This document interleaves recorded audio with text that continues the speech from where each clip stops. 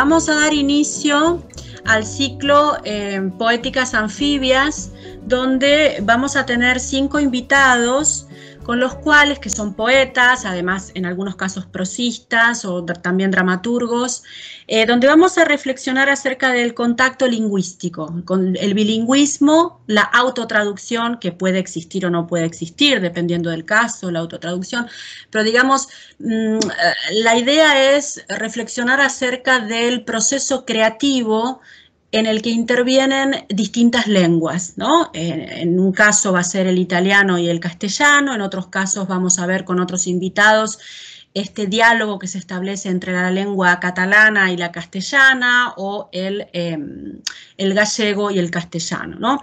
Em, porque independientemente de que la lengua de expresión pueda ser una de las dos, siempre, digamos, los estudios que tienen que ver con la autotraducción demuestran que tanto la cultura como la, como la lengua nativa o de, alfabetización o de cultura interviene de uno u otro modo en, eh, en la mm, en el estilo, ¿no? lo que sería el idiolecto poético, sea por los intereses, sea por los temas, sea porque a veces aparece, o, lo que sería, bueno, técnicamente el code switching o el code mixing, cuando se mezclan códigos, ¿no? Y de golpe aparece una, una palabra como un préstamo extranjero en el interior del poema, o no, o no, simplemente hay una reflexión lingüística. Por eso cada caso es muy único, ¿no? Cada biografía es, es única. Y bueno, tenemos el, privilegio de, empezar este ciclo con Fabio Morábito. Voy a, leer, los voy a, lo voy a presentar. Em, voy a leer eh, esta biografía que aparece en el, el idioma materno que es un libro del 2014, yo estoy leyendo la reedición del 2020, espero que esté actualizada la biografía, si no, bueno, Fabio nos va, nos va a decir cuáles fueron sus, últimos, eh, sus últimas andanzas, digamos. es, muy, larga, María. es larga, sí, pero quiero que los alumnos conozcan toda esta, toda esta trayectoria. Sí. Bueno, voy a tratar de simplificar un poquito. Entonces, eh, Fabio Morábito nació en Alejandría de padres italianos y a los tres años su familia regresó a Italia, o sea, a Milán, a la zona de Milán. Transcurrió su infancia entonces en Milán y a los 15 años se trasladó a México, donde vive actualmente. A pesar de que el italiano es su lengua materna, ha escrito toda su obra en español. Bueno, es autor de cuatro libros de poesía, Lotes Baldíos, bueno, aquí hay una serie de premios, en particular el premio Aguascalientes, que es, bueno, uno de los más importantes en México. Eh, bueno, um, ha escrito también libros de cuentos, eh, publicados por Tusquets, Eterna Cadencia, eh, ha ganado también premios de narrativa, publicó libros de prosas en pretextos, por ejemplo, en Tusquets, en Anagrama, es autor de un libro de ensayos, tradujo la poesía completa de Eugenio Montale, que publicó en España en 2006 en Galaxia Gutenberg, Círculo de Lectores.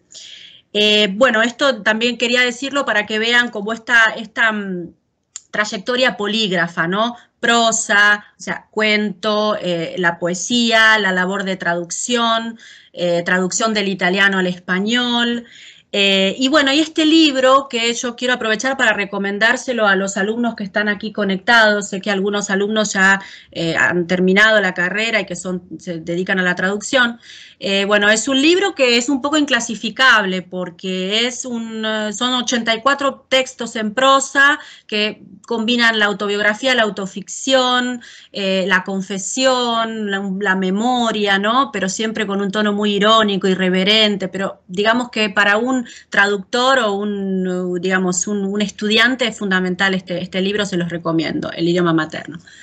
Bueno, benvenuto, bienvenido Fabio. Gracias, gracias Marisa por la invitación.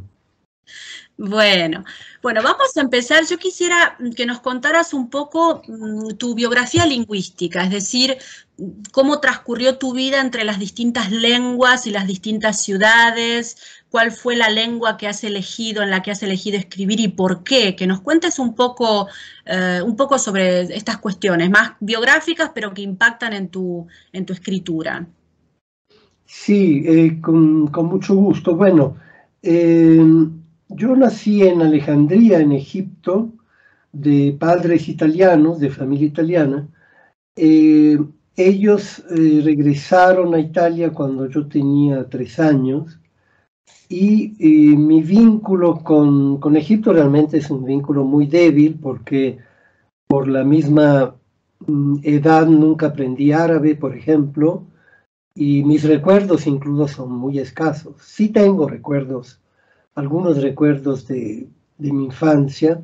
La familia vivía sobre todo en, el Cairo, aunque yo nací en Alejandría, y eh, a los tres años em, empezó mi vida en Milán, en mi infancia en Milán, que sí es así, fue mucho más importante. Eh, fueron 11 años en Milán y después, cuando yo tenía 15 años, em, mi padre se trasladó a México y desde entonces vivimos acá.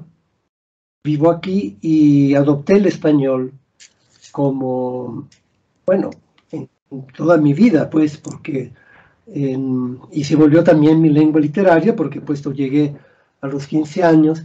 Yo había escrito algo en italiano cuando viví el primer año en México. Eh, fue un año un poco difícil, yo no conocía a nadie.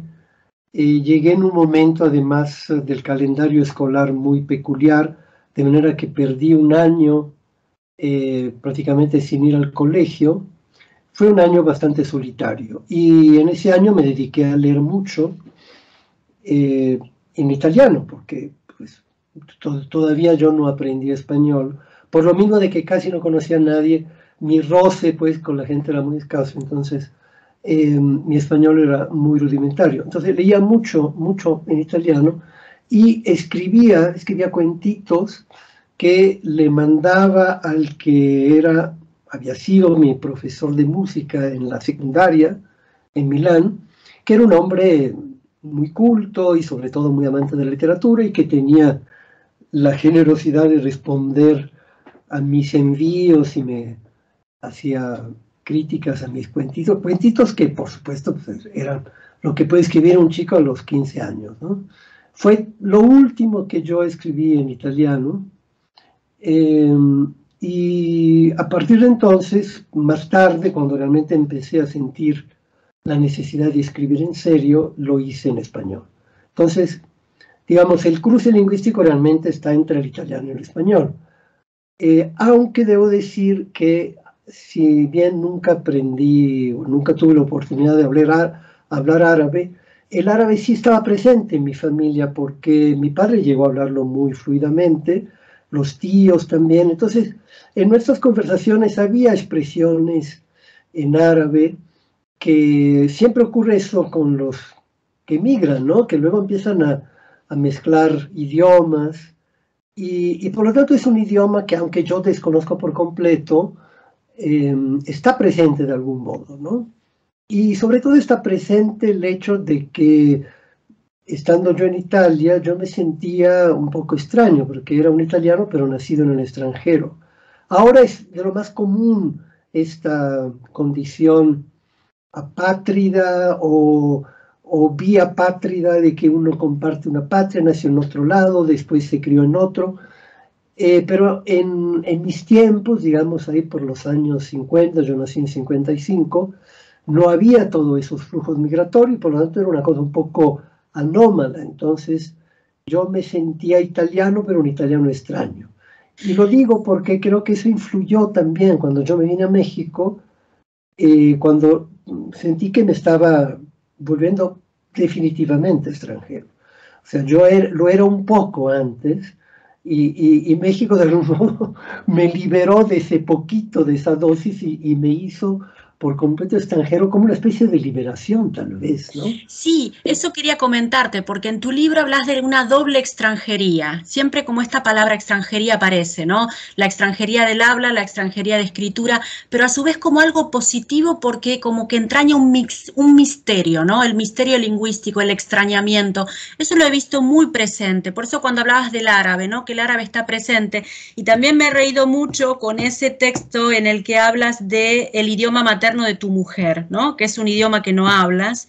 Y toda esta, esta eh, como esta aura de misterio que implica un, un estar en contacto con unos sonidos y una lengua que uno no, no conoce, ¿no? Pero que genera como un estado de, no sé, lo, lo, veía como muy positivo, ¿no? Incluso creativamente hablando. ¿Es así eso para ti? Sí, sí, yo creo que eh, el, cruce de idiomas y la posibilidad de compartir eh, al menos un idioma extranjero, aunque no se le hable, pero que con que se tenga cierta familiaridad con él, eh, siempre es enriquecedor, porque simplemente es un, un, llamado de atención a que existen otros, ¿no? Claro. Existen otras formas de vivir, de pensar, de saber, de comer, y, y creo que pues mucha gente olvida eso, mucha gente está un poco condenada a su pequeño terruño, de ahí no sale.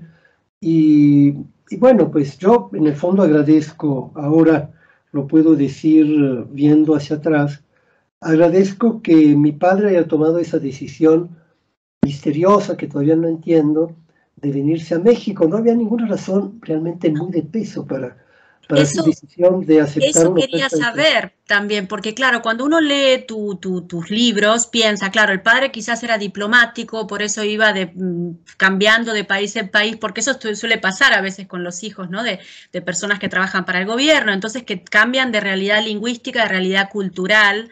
Y aquí, hablando de la solidaridad lingüística y del misterio, en este texto, El idioma solitario, hablas precisamente del misterio que supone la, la gran parte de la belleza y del amor que tiene que ver con eh, eh, el dominio de un, un idioma distinto, ¿no? O sea, yo lo veía como, digamos, es un tema que atraviesa tu libro, como ese amor por el plurilingüismo y a veces por esas lenguas que uno eh, quisiera entender y que se queda en el aspecto fónico, ¿no? Porque hablas, por ejemplo, de la, aspereza de ciertas consonantes aspiradas que me perturban todavía después de, bueno, muchos años de vida en común. O sea que como, como si hubiera un, un estímulo también, digamos, esta idea del extrañamiento casi formalista, ¿no? De, no acceder a un lenguaje, pero que te genera una serie de vocaciones preverbales que pueden ser incluso eh, positivas para, la creación. Así que no había motivos para ir a México, no había un motivo particular en la familia. No, hubo una oferta de trabajo. Mi padre se dedicó toda su vida a mm, el plástico, maquinaria plástico, él era especialista en eso y, y bueno, pues lo, hicieron una oferta de trabajo que no era tan excepcional como para justificar un traslado a un país eh, tan lejano para nosotros que vivíamos en Italia, eh, cuya lengua desconocíamos, cuya cultura desconocíamos.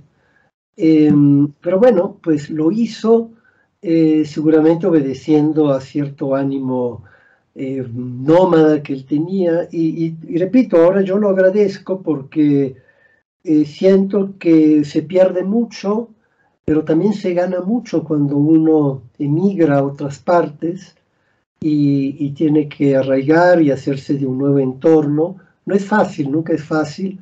Y bueno, yo además, debo confesar, lo hice en una situación eh, bastante mm, segura, o sea, yo me vine con mis padres, no se compara pues mi, mi exilio, entre comillas, al, que padecen otras personas que se ven obligadas por causas de fuerza mayor, a veces muy severas y muy tristes, a abandonar su país. Entonces, en ese sentido yo he sido, soy un exiliado afortunado. Bueno, ni siquiera soy un exiliado, además. Claro, este, sí. Sí, sí. Pero bueno, pero tanto los que sí se exilian como los que simplemente emigran, sí padecemos un, cierto extrañamiento y un sentimiento de desarraigo que nunca se quita, eso sí.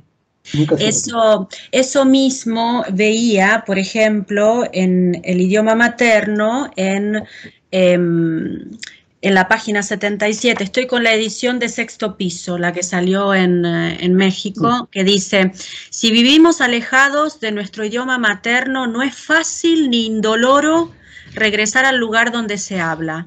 Puede ser una experiencia difícil y frustrante. Se ha perdido su pleno dominio y los nativos nos miran sospechosamente, porque a pesar de que lo hablamos con corrección, incluso con cierto acento local que los años vividos en el extranjero no lograron suprimir del todo, hay en nuestras palabras una aleación extraña, una timidez o un vago tartamudeo. Y bueno, y luego hablas de una experiencia de un hombre que fingía ser extranjero. Bueno, es muy, es muy gracioso porque es un libro que trabaja mucho con el humor y con la hipérbole, la exageración. Em, ¿Te pasa esto? claro, porque yo no quiero decir que no, no, podemos decir que sea un libro autobiográfico, ¿no? O sea, hay una, una, elaboración literaria muy fuerte, ¿no? Con lo cual ese es un concepto que hay que cuidar mucho, el de la autobiografía, bueno, si es autoficción, autobiografía. ¿Te sucede eso que cuando vuelves a Italia hay como un sentimiento como de, dolor o, de, no sé, de una nostalgia por el alejamiento? ¿Cuál es tu sensación cuando, cuando vuelves a Italia? Bueno, yo no diría que es una sensación de nostalgia, pero sí eh, es Mm, yo estoy muy consciente del gran peso que la lengua y la cultura italiana tienen en mí. Por ejemplo, eh, por un simple hecho, yo cuando leo poesía en español y cuando leo poesía en italiano, me siento más cómodo leyendo la poesía en italiano. Siento que entiendo mejor. Me mm. siento mucho más seguro, porque ya sabemos, cuando uno lee poesía, eh, la poesía siempre nos... Eh, despierta cierta inseguridad de lectura. La poesía de por sí no siempre es muy comprensible o sus márgenes de comprensión son muy amplios. Queremos entender lo que nos dice el poeta, pero al mismo tiempo estamos conscientes que entender un poema no es lo mismo que entender una prosa y debemos más bien abandonarnos a otro tipo de estímulos sonoros, rítmicos. Bueno, a pesar de eso, cuando yo leo un, poema en italiano, eh, me siento en mi casa. Y cuando leo un poema en español, se prende por ahí una lucecita de alerta, ¿no? Todavía. Y cuando digo todavía, puesto que tengo 66 años, supongo que eso va a ser hasta que me muera, ¿no? Mm. A pesar de eso, eh, escribo eh, poesía en español y también al escribir en español todavía, eh, por supuesto, yo me siento mucho mejor escribiendo en español que en italiano. De hecho, ni siquiera intento escribir en italiano. Me sentiría totalmente acartonado, aunque lo pudiera hacer correctamente. Siento que es un idioma que a mí ya no me puede. Eh, no te autotraduces. Entonces, eso quería preguntarte. Tú no te autotraduces, ¿no? Al italiano. Lo hice solo una vez. Una vez. lo hice solo una vez por juego. Traduje un texto mío de un libro de prosa breve que se llama Caja de Herramientas y lo hice solamente para probarme a mí mismo si podía traducirme. Una vez que terminé de traducirme ese texto, se lo mostré a una amiga italiana, que es traductora, que traduce del español al italiano, o sea, a su lengua materna, y me dijo, pues mira, eh, está muy bien traducido, no hay ningún error, pero si quiere ahora yo lo traduzco. Entonces ella lo tradujo y eh, lo tradujo con, por supuesto su traducción era superior a la mía, pero era superior curiosamente porque era más libre. Curiosamente yo, a pesar de ser el autor de ese texto, me había como, no me, no me había tomado las libertades expresivas que ella sí se tomó y que son las propias de, con las cuales podemos realmente traducir, es decir, sin ese mínimo margen de creación y de libertad, pues toda traducción es acartonada y, correcta, pero finalmente inexpresiva. Entonces ahí me di cuenta de que el italiano definitivamente había dejado de ser mi lengua materna, o lo era desde el punto de vista meramente anagráfico, pero dentro de mí eh, era un músculo ya en vías de atrofiamiento. Y escribí un poema justamente dedicado a ella, esa amiga mía, eh, sobre este sentimiento de que tu idioma materno, que uno cree que es eterno, que siempre estuvo ahí y siempre va a estar ahí, en realidad no, en realidad es un huésped como todos y en algún momento se puede extinguir. Si tú quieres leer en algún momento algún poema que se relacione con lo que nos estás contando, puedes, puedes hacerlo tranquilamente. Yo, por ejemplo, había estado leyendo en Ventanas Encendidas, la antología que sacó Visor. Bueno, hay una serie de poemas con la reflexión lingüística ahí en primer plano, por ejemplo, In Limine o Piazza Gimma, la segunda parte, o eh, luego, bueno, tienes poemas que no tienen título, pero por ejemplo, ese mm, Veo a mi padre asomado a una ventana, o luego ese que empieza con Escribo en una lengua que aprendí, ese es, ese es un poema que, si no me equivoco, está en tu último libro, ¿verdad? Está en... Eh, o penúltimo, creo que penúltimo, sí. Penúltimo, de alguien de lava, o, delante de un prado una vaca. a ver, déjame es, pensar. Es mi penúltimo, bueno, pues sí. Sí, eh, con, mucho gusto cuando quieras. Bueno, de hecho podría leer justamente ese que te acabo de mencionar. Sí. Porque creo que es el más, eh, el que mm, afronta más frontalmente, digamos, más directamente este, este asunto, ¿no? Del, eh, cuando, cuando quieras, pues, lo podemos leer. No sí, por supuesto, léelo, léelo, Fabio, si lo ah, tienes ahí a mano, sí, sí.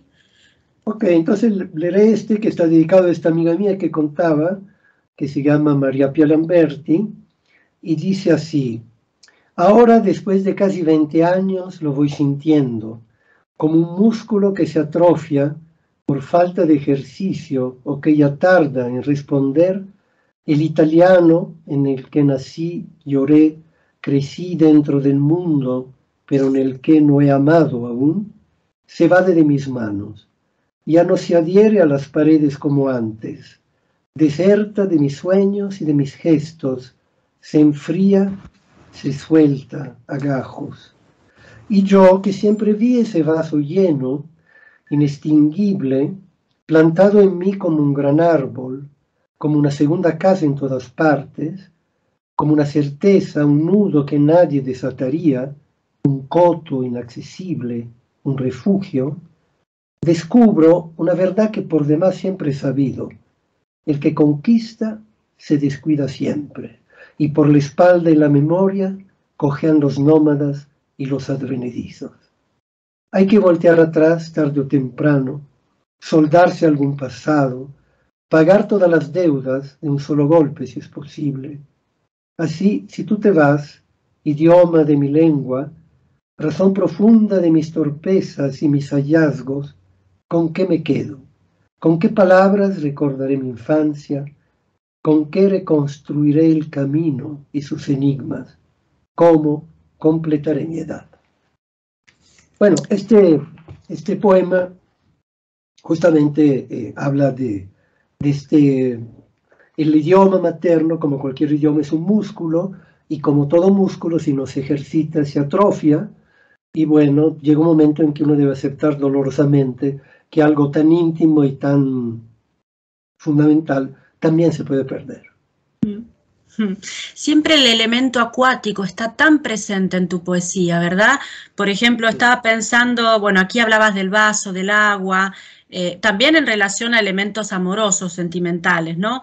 Em, en el libro de Alguien de Lava del 2002, este poema que decía antes, puesto que escribo en una lengua que aprendí, tengo que despertar cuando otros duermen, escribo como quien recoge agua, ¿no? O sea, cómo, cómo el agua está, está, siempre presente en relación a movimientos eh, fundamentales, la escritura, el amor, ¿no? Esto, esto supongo que, no, digo que sea voluntario, pero lo, reconoces, ¿no? El hecho de las distintas formas contingentes del agua, ¿no? Que puede ser el mar, que puede ser un vaso, que puede ser, ¿no?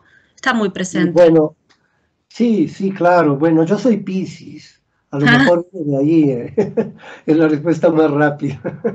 Eh, no, por supuesto, y, no sé, ahora que tú lo mencionas, yo no lo había pensado, pero eh, tal vez a todos aquellos que compartimos distintas culturas, de algún modo el, agua viene siendo como el símbolo de, nuestra permanencia más real, porque el agua fluye todo el tiempo y esta conciencia de, fluir es inseparable de, de aquellos que compartimos culturas e idiomas diferentes. Es decir, mm.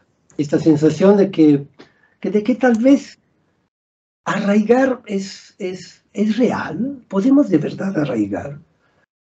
Es decir, incluso aquellas personas que nunca abandonan su terruño se sienten realmente arraigados porque siempre estamos expuestos a la extranjería, ¿no? Es decir, los otros eh, piensan distinto, hablan distinto, aunque sean nuestros seres más familiares. Es decir, el sentimiento de ajenidad nunca nos abandona. Entonces, quizá emigrar a otro país, a otra lengua, es solamente una forma más radical de algo que es un sentimiento universal, que es el sentimiento de que estamos solos y que todo aquello que nos rodea nos puede parecer entrañable, cercano, pero finalmente es algo que está separado y que nunca entenderemos del todo. Y en ese sentido yo pienso que escribir, más allá de que si uno escribe o no en su lengua materna, siempre es escribir en una lengua extranjera, porque la lengua literaria mm. es, una, es una lengua que nos cambia por completo. O sea, cuando uno decide escribir y escribe en serio, y no solamente por, por, por, así, por capricho, se da cuenta de que él mismo se transforma, que lo que él, para empezar, que lo que él quiere decir nunca termina de plasmarse en la página como él quería que se plasmara. Es decir, la escritura siempre tiene un poder traicionero o de, fuerte transformación. No es, escribir no es simplemente plasmar en el papel algo que tenemos previamente metido en la cabeza, sino que en ese pasaje de la cabeza al papel hay algo ocurre que, que finalmente lo que vamos escribiendo no responde realmente a nuestras propias expectativas, es algo que se nos escapa. Y en ese sentido, toda escritura es una lengua extranjera, es decir, nunca podemos expresar fielmente lo que queríamos expresar porque algo pasa, alguna aleación química extraña sucede y finalmente nos sentimos incluso un poco ajenos a, lo, a lo que escribimos. Y creo que sin eso escribir no tendría sentido. Es decir, tiene sentido precisamente porque nosotros somos los primeros en sorprendernos de lo que estamos escribiendo. Sí, sí, como si la escritura fuera una segunda piel. Y esto, aprovecho de decir que lo que está diciendo Fabio eh, se ve muy claramente en este libro. También, bueno, en, en, su poesía, ¿no? Que es lo que más he leído. Pero en este libro siempre el lector se encuentra ante un desafío porque es un libro que, aunque intenta generar ese, esa, em, esa sensación en el lector de verosimilitud y de realidad, ese efecto de realidad, ese, efecto autobiográfico, de golpe ese efecto se rompe porque hay una hipérbole, una ironía, una broma, un elemento que manda al lector hacia un territorio, incluso diría onírico, fantástico. Entonces ahí uno duda y dice, no, esto no es autobiográfico, esto es autoficción o es un cuento, ¿no? Entonces, esa duda permanente entre si estamos leyendo un cuento en primera persona con determinados elementos anecdóticos que pueden pertenecer, uno lee su biografía y ve que se menciona Milán se menciona Italia o la escuela en Italia, etcétera, pero digamos este, este juego ¿no? entre la vida y la ficción está muy presente. Y luego otra cosa que también en, el, el texto que se llama Drácula y el idioma, dice que pasar de una lengua a otra exige la mutación del ser. ¿Eh? es decir, convertirse en otro a través de la lengua y más a través de la escritura. Es un ser que se solapa, ¿no? Es un ser distinto. Esto también es un elemento que aparece muchísimo en este libro y aprovecho también para mencionar un concepto que me ha interesado mucho porque antes, cuando leía su poema, Fabio, digamos, hablaba de la lengua, ¿no? También del, idioma como un músculo. Y muchas veces aparecen como metáforas más orgánicas para hablar del idioma. Tiene otro, otro texto que se llama Venas y Arterias. Venas y arterias y habla de capilaridad. Y creo que esto para, para los traductores es importante este concepto, ¿no? Que el concepto de capilaridad, que lo, lo, quisiera, lo quisiera leer también para que para reflexionar sobre este concepto. Dice así, la traducción lingüística solo es posible cuando el idioma nativo tiene la suficiente capilaridad como para resistir el impacto de un idioma extraño y absorberlo en su tejido a través de una red más o menos amplia de soluciones.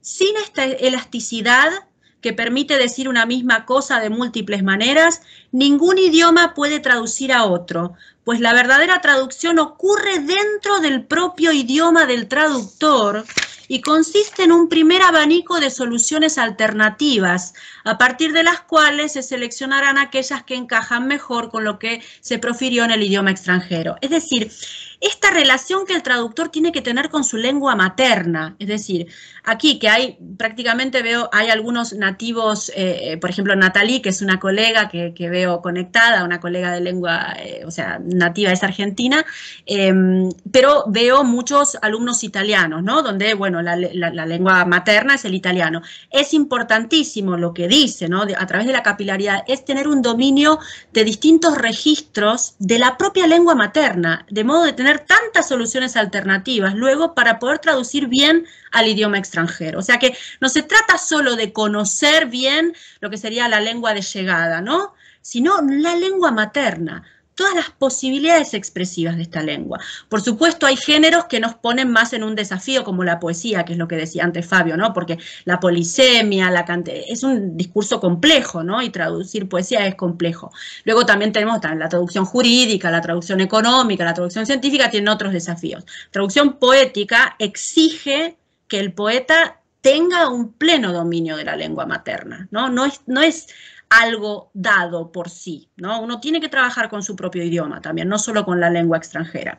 Así que bueno, esto, esto yo lo quería mencionar porque la idea de la capilaridad es un, me parece que es un aporte que, por ejemplo, Humberto Eco se lo olvida y en todos los textos que estudiamos de traductología, de traducción, ¿no? Que, donde hay tantos conceptos que además estudiamos en clase, la idea de la capilaridad y prestarle atención a la lengua materna, ¿no? Eh,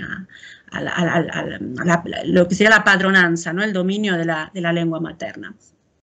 Bueno, no sé si quieres leernos alguna, algún texto tuyo más, nos gustaría escuchar algún poema eh, o, si no también prosa que pueda tener que ver con este tema u otro tema. Eh, sí, bueno, eh, bueno, quería apuntar algo de lo que tú acabas de decir sí.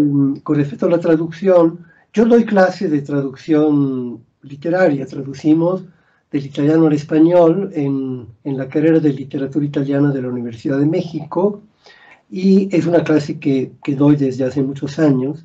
Y eh, en efecto lo que más cuesta trabajo eh, que, que, los alumnos entiendan es este, esta doble traducción. Es decir, la primera que es traducir del idioma del que se traduce, que en este caso, en nuestro caso es del italiano, porque se traduce del italiano al español, y luego, una vez que se tiene esa traducción, eh, traducir dentro del propio idioma, es decir, convertir la traducción en un texto eh, totalmente nativo, si es que puede existir un texto totalmente nativo. Y para lo cual es importante olvidarse del primer idioma, del idioma del que se traduce, y tratar el propio texto como un texto escrito originalmente, en, en este caso en español. Es decir, es, me cuesta trabajo a veces que entiendan que el traductor es un escritor y, y tiene que trabajar como tal y el mismo esfuerzo estilístico de corrección, de ajustes, que hace un escritor cuando corrige y vuelve a ver su texto, es exactamente el mismo trabajo que tiene que hacer un traductor con la primera versión de, su traducción. Y, claro, eh, eso se trata de encontrar entre todas las opciones posibles del propio idioma aquellas que se eh, adaptan mejor al espíritu, pues, de lo que se traduce. Y en ese sentido sí creo que el concepto de capilaridad puede ser útil, porque, no sé, como que es un concepto digestivo, ¿no? Es decir, cuando nosotros, me imagino, o sea, yo no sé de eso, pero cuando comemos, no es que la comida se, se, va a una especie de cajoncito por ahí, ahí se guarda, ¿sí? sino que justamente se, se, dispersa por nuestro organismo a través de un proceso muy lento y solo así puede ser realmente asimilable, ¿no? Y lo mismo pasa con la lengua, ¿no? Sí, no, y esto que estás diciendo se conecta mucho con tu último poemario, em, eh, tienes el poema eh, que dice, como delante de un prado una vaca, ¿no? Que inclina mansamente la cabeza, y estás hablando del prado del lenguaje. Y fíjate que aquí hablas de lo que no tienes dos estómagos, pero todas estas metáforas tan orgánicas y que tienen que ver con la transformación, ¿no? La transformación de palabras y la escritura, digamos, creo que eh, lo veo como un tono muy mantenido en los distintos, en los distintos libros tuyos y, pensar que también, bueno, este ciclo se llama Poéticas Anfibias, ¿no? Porque, bueno, los anfibios son animales que pueden respirar, ¿no? En distintos hábitats, ¿no? En el agua o en el aire. Entonces, era un poco una metáfora de cómo los poetas bilingües, aunque como en el caso de Fabio estamos escuchando que su lengua de expresión es el castellano y que ha intentado, digamos, que se ha autotraducido solo una vez y ha escrito solo el primer año en italiano, digamos, de todas maneras siempre se da esta alimentación, esta retroalimentación entre, entre las lenguas. Probablemente esta fijación mía con lo orgánico viene de lo que tú subrayabas hace rato, de hablando del, texto sobre Drácula, es decir, que efectivamente usar otra lengua cambia nuestro ser. Y, por lo tanto, eh, al ser otros, pues somos otro organismo. Y, el, que está consciente de eso tal vez propende de manera natural a ver en la lengua este, un factor orgánico, no solamente un factor intelectual, porque nos transforma profundamente, claro. Y otra de las cuestiones también muy interesantes es que siempre se te detienes en el aspecto también fónico y rítmico, es decir, no solamente en la parte léxica, ¿no? O sea, uno piensa en idiomas y quizás piensa en palabras, ¿no? Pero hay como una, una atención puesta en el sonido, en el elemento fónico, preverbal, ¿no? Y, y esto lo digo también por los alumnos que hay aquí presentes, ¿no? Como tenemos, claro, distintos niveles, ¿no? Y que es importante trabajar tanto con lo semántico o pragmático, pero también con el elemento más primigenio, ¿no? Con el, con el sonido. Y quería preguntarte, a raíz de lo que decía Fabio, que tú enseñas, sabía que enseñabas en la universidad, eh, ¿la traducción es traducción literaria o hay otros tipos de traducción técnica, por ejemplo? ¿Trabajas con la Trabajamos traducción literaria, sobre todo prosa y ensayo, cuentos y ensayo, pero em, siempre eh, procuro hacer una traducción técnica. Por ejemplo, la última vez era un instructivo de una lavadora. Y debo decir que son las traducciones más divertidas, donde la pasamos en realmente riéndonos mucho, porque, claro, nadie es experto ¿no? en lo que puede ser el motor de una licuadora, de una lavadora, y entonces hay que trabajar con sentido común, con intuición, con la experiencia vivida, y entonces dicen, no, ese cable seguramente no se puede llamar así, se tendrá que llamar de ese otro modo, y además con la conciencia de que si tú te equivocas, cuando, equivoca, cuando escribes un poema y te equivocas en un adjetivo, pues al mundo no le pasa nada.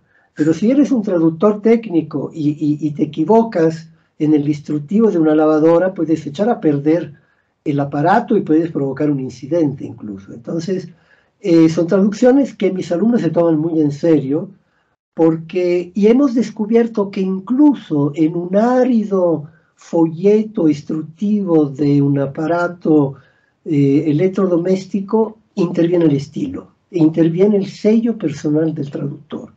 De hecho, yo eh, cuando leo esos instructivos, por lo cual nunca entiendo gran cosa, pero sí me doy cuenta de que hay unos escritos muy bien, con pasión casi diría literaria y otros escritos con mucha insensibilidad literaria. Es decir, que aún en un texto tan eh, aparentemente ajeno a la literatura, creo que la sensibilidad lingüística, emotiva, poética, digamos, entre comillas, sí, sí tiene cabida, ¿no? Y, y, eso es un descubrimiento que me da mucho gusto, porque quiere decir que la poesía no es una especialidad que cultivan unos cuantos locos, sino que es un saber compartido por todos, ¿no? Mm. Mm, mm.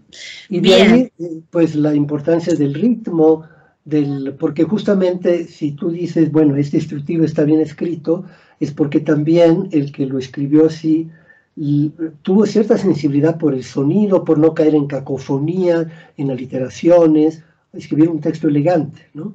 Más elegante, más claro, más claro para el usuario. Es decir, ahí intervienen cosas que intervienen en cualquier texto literario. Y eso me, parece sorprendente y muy aleccionador. Mm. Em, antes, bueno, quiero aprovechar para preguntarte por estas actividades que tienes en México, porque bueno, e, eres, eh, a ver, más allá de un profesor y un traductor, eres un mediador, ¿no? Lo que nosotros aquí en UDINE tenemos una carrera que es la de mediación lingüística y cultural, ¿no? Es decir, un puente entre dos mundos, un mediador lingüístico y cultural. ¿Qué, actividades desarrollas? A ver si nos puedes contar un poquito qué es lo que, lo que haces en México, si das laboratorios de traducción o fuera de la universidad, si estás en contacto con instituciones italianas en México, eh, también para los alumnos que están conectados que, tengan referencias ¿no? de, toda esta actividad tuya en México. Mira, yo no estoy muy conectado con el mundo italiano. Eh, prácticamente conozco muy pocos italianos. Eh, no soy de aquellos que se preocupan por estar en contacto con la comunidad del propio país, en parte porque ya me siento más mexicano que italiano, pero nunca, incluso en los primeros años en que eh, yo nunca tuve necesidad o me atrajo mucho eh, estar en contacto, tal vez porque la idea de gueto siempre me ha asustado mucho, ¿no? Es decir, em, creo que hay que abrirse y, y además llegué a una edad donde era muy fácil abrirse al entorno inmediato, a los 15 años, 16 años, las personas que yo, con, con, quien yo me relacionaba eran pues mexicanos, entonces aprendí la lengua con ellos y, y no tuve necesidad pues de asirme, aferrarme a la gente, a, italiana. Eh, entonces mi relación es muy poca y de hecho prácticamente se reduce a ese curso que doy en la carrera de literatura italiana en la Universidad de México y em, leo mucho mm, italiano, eso sí, porque em, es probablemente la influencia literaria más fuerte que yo he tenido, tanto en la poesía como en la prosa. Y bueno, lo que más hago es escribir, escribir poesía, escribir eh, narrativa. Y luego soy investigador en la universidad, donde doy clase más que profesor, soy investigador. Y como investigador me, me he ocupado mucho de traducción, efecto. Y ahora, por ejemplo, eh, voy a trabajar sobre el de Camerón y he trabajado textos italianos, pero también he trabajado textos eh, en español. Entonces, eh, bueno, esa es mi, mi, mi, actividad. No sé si realmente yo soy un mediador en ese sentido. Mm. De afuera, claro, que de afuera se ve así, porque por ejemplo, el hecho de traducir a Montale, eso quería preguntarte, por el proceso de traducción de Montale, traducirlo para, para, para Galaxia Gutenberg en Madrid, digamos, eh, es una tarea muy, importante, va, no lo sé, ¿no? De afuera quizás la humildad interior no, no, no te haga verlo, pero digamos, eh, me parece una, una, una labor eh, de unión entre dos realidades y dos lenguas importante. ¿Cómo fue el proceso de traducción de Montale? ¿Cómo, cómo... Bueno, yo todavía estoy asustado, ¿no? Porque eh, cuando me propusieron traducir a Montale, eh, mi primera reacción fue negarme por la inmensa admiración que yo siempre he tenido por Montale y la conciencia de la dificultad de la, de la poesía montaliana. Eh, así que durante un tiempo yo rechacé esa, esa oferta y, y, finalmente me decidí a aceptarla, pero poniendo ciertas condiciones, porque yo sentía que necesitaba mucho tiempo para hacerlo y la eh, Galaxia Gutenberg eh, quería la traducción en un año y medio. Yo dije, imposible, imposible, por lo menos necesito tres años y medio. Bueno, ahí estuvimos negociando, nunca hubo negociación de dinero, solamente negociación de tiempo. Y finalmente aceptaron esa condición y trabajé durante tres años y medio Montale y fue, eh, bueno, fue una experiencia que me ha marcado mucho porque traducir la poesía completa de un, de un poeta tiene, em, tiene algunas desventajas. Por ejemplo, no todo lo que escribió Montale a mí me gusta, o no todo lo entiendo perfectamente, pero hay que traducirlo todo, porque le encargaron a uno la poesía completa. Cuando no es así, uno tiene la libertad de poder escoger aquellos poemas que mm, puede traducir mejor o que le gustan más. Em, entonces, como un matrimonio, en fin, no es una, no es, eh, es, eso, es un matrimonio, hay que pasar momentos buenos y momentos malos. ¿No? Y yo algunos de Montale, pero la verdad no, no, me han gustado mucho. Eso son pocos, porque en realidad eh, todo Montale es, es em, en fin, siempre lo he, lo he admirado muchísimo. Y bueno, fue un proceso lento, de muchas correcciones y de mucha consulta, eh, ayudándome con consejos de otras personas, no solamente en el punto de vista semántico, sino hablando un poco de Montale, tratando de captar el espíritu, preguntándome, ¿Montale lo hubiera dicho así o lo hubiera dicho de otro modo? En fin, se establece una relación realmente muy simbiótica con, con el autor que uno traduce. Y bueno, pues eh, me queda la convicción de que me quedé, como él decía, Montale decía, yo he vivido un 5% mi vida y no agreguen más, el 5%, o sea, lo que yo pude haber vivido, bueno, yo en traducción me, me quedo con ese 5% igual, digo, pude haber dado el 100%, pero no le agreguen más, porque si uno lee el original y luego lee mis traducciones, pues por lo menos a mí me queda claro que lo que es la musicalidad de Montale, la endemoniada musicalidad de Montale, en mis traducciones, por más que yo hice todo el esfuerzo para que se conservara lo más posible, eh, pues automáticamente se pierde gran, gran parte de ella. ¿no? Lo único que puedo decir en mi defensa es que justamente apunté mi artillería justamente hacia, hacia ese punto. Es decir, hay que traducir a Montale sobre todo tomando en cuenta su gran poder, eh, su voluptuosidad sonora, rítmica, sin la cual Montale no es Montale.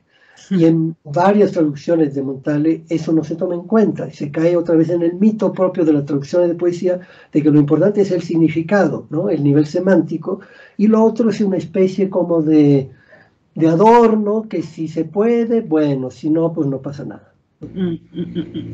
Te puedo pedir, para, vamos a ir concluyendo a ver si hay alguna pregunta de algún eh, participante. Me gustaría pedirte de tu primer libro, de Lotes Baldíos, un libro del 84, a ver si, si nos lees In Limine, si, si, nos leerías este poema. Eh, sí, muy bien.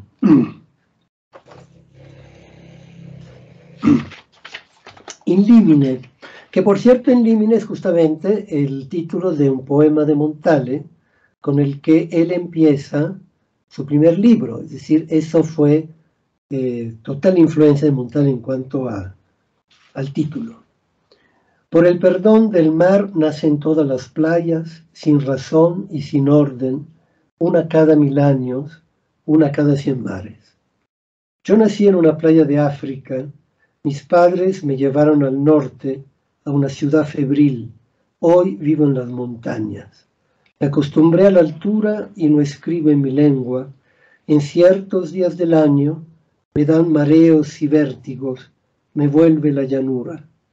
Parto hacia el mar que puedo, llevo libros que no leo, que nunca abrí.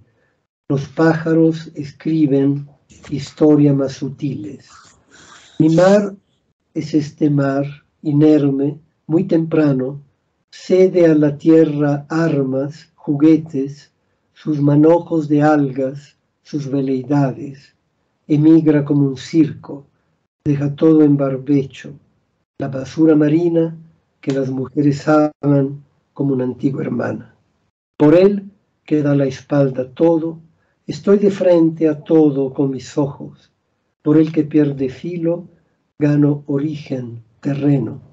Jaleo mi abecedario variado y solitario y encuentro al fin mi lengua desértica de nómada, mi suelo verdadero. Bueno, vamos entonces llegando al final de nuestro encuentro. Fabio, te agradezco mucho la presencia, me gusta la idea de haber inaugurado contigo este ciclo y bueno, em, luego te voy a tener enterado de, la, evolución de, esta, de esta investigación que tiene que ver con los poetas bilingües. Y bueno, por cualquier cosa seguimos en contacto y, nos te, te agradezco mucho, Marisa, la, la charla fue muy, muy sustanciosa. Y bueno, ya me mandarás el, el link de esta y las otras conversaciones que voy a escuchar con, con mucho interés, porque, bueno, siempre es bueno saberse parte de un gremio. sí. bueno. Bueno, bueno, un gran placer y bueno, nos hemos concentrado más en cuestiones más técnicas, ¿no? Pero, pero bueno, también me, mm, eh, soy una admiradora de tu poesía. De hecho, hace unos años una revista me pidió que eligiera los tres poemas que más me gustan del siglo XX de la mm, poesía en lengua española y elegí un poema de Olga Orozco, uno de Cristina Peri Rossi, que acaba de ganar el Cervantes, y un poema tuyo. Así que... sí. Eh, Sí, sí, los puedes encontrar en línea, ¿eh? ¿Mm? Bueno, me parece que muy habla del mar de Cádiz. Ah, mira, este, ese, mira, poema es el que elegí. ¿Mm? Bueno, seguimos en contacto y gracias por todo. ¿eh? Gracias a ti, Marisa, y a tus eh, alumnos por escucharme. Hasta adiós. luego. Y adiós a todos los alumnos. Adiós, adiós.